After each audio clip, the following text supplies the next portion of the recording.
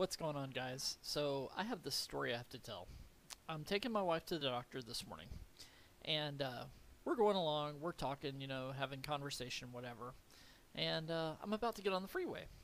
And up ahead of me, I'm right behind this truck that has one of the big spools, you know, of cable on it and everything like that.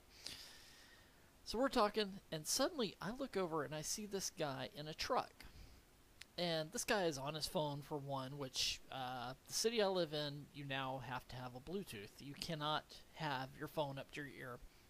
But this guy is on his phone, and he's flailing his arms like crazy. He's just like, you know, looking over at me, flailing his arms. I don't think I cut the guy off. I'm, I'm not sure. I don't believe I did.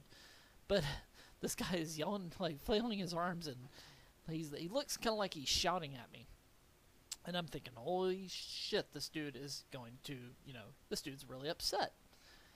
And my wife looks over, you know, my wife is like, is he serious? You know, we can't go anywhere. He can't, you know, how is he going to get in? Does he want us to back up? I said, I don't know.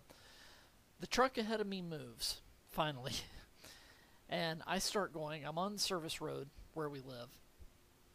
And, uh, or on the road going to the doctor. And, uh, this dude gets right behind me and he follows me for a good half mile.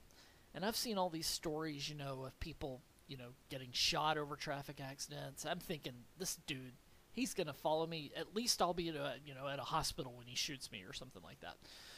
But uh this dude follows me for about a half mile. And suddenly I just see him abruptly turn. I'm thinking, "Oh, thank God." Long story short, we made it to the hospital safe. There was no no kind of violence involved, thank God.